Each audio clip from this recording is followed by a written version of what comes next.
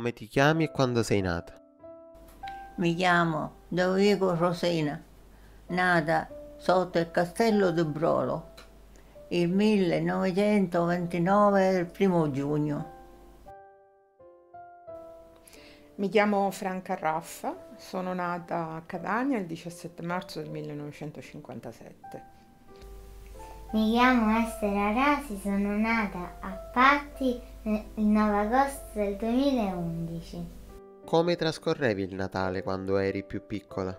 Per Natale facevamo i biscotti in casa perché allora non c'erano i bar, non c'era niente e quindi facevamo le noccioline, le noccioline chiamavamo pizzatuna, ci mettevamo, facevamo le felloncine di pane e mettevamo dentro le noccioline.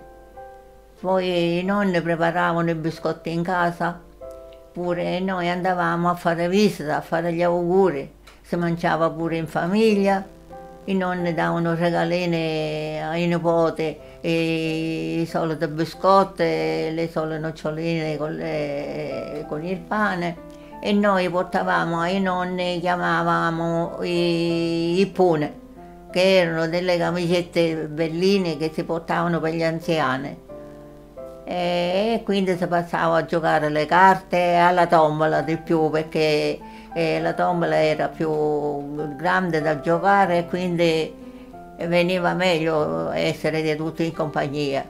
E andavamo tutti i nipoti, i nonni, e stavamo insieme, passavamo le serate e si andava avanti così.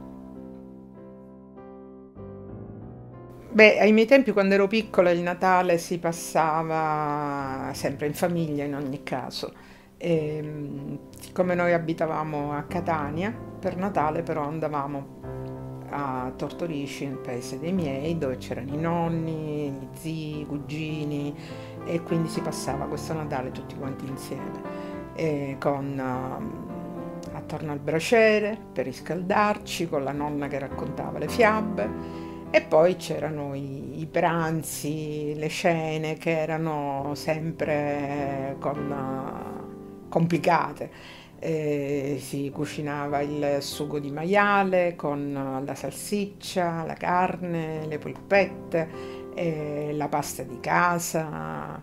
Ovviamente non esistevano ancora i panettoni quando ero piccola io e quindi si mangiavano il pan di Spagna, le torte fatte in casa, i biscotti, eh, le giammelle, come le chiamavamo là noi a Tortorici.